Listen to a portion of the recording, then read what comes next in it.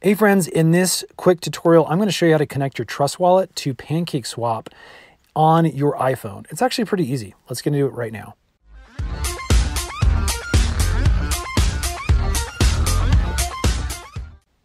Okay, so obviously the two things you need to have on your iPhone is your Trust Wallet. You can go get the app in the App Store download and set that all up. If you need a tutorial, we put one on our channel. You can find it here. And then you're also going to need a browser that can connect safely to pancakeswap.finance. You can see the address up there at the top. Again, make sure you are on the secure, legit PancakeSwap website and not some fraudulent one.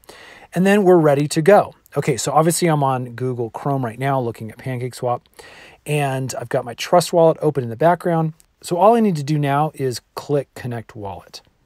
Okay, that's going to bring us up a couple of options here. You can actually click on Trust Wallet down there at the bottom, and that is going to bring us to the Wallet Connect portion here. And then we can choose Trust, and that is going to push us over into our Trust Wallet.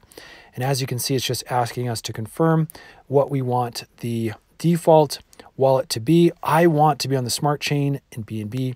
So that is what the default is set to. If you want to switch that, you can actually click on this and then navigate to the specific network you're looking to use. Again, we're going to go back and use that main smart chain BNB, and then I'm going to click connect. Okay, once I do that, I can go back to Wallet Connect and I can actually click on that little guy right there. And as you can see, we've made a new connection with Pancake Swap.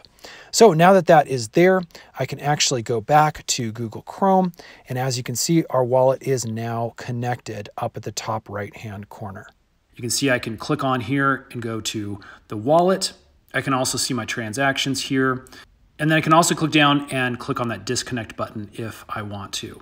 So at this point, we are ready to swap. You can see that it sees how much BNB I currently have in my wallet.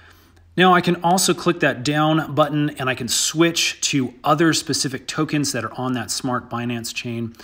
And that way we can swap into other specific coins in the future using this exchange.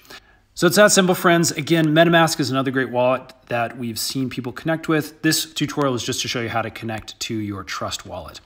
I hope this has helped. If it has, please give this video a thumbs up. Stay tuned. We're going to be doing a lot more of these tutorial videos to help make things a little bit easier. Thanks for watching, friends. We'll see you again on the next one.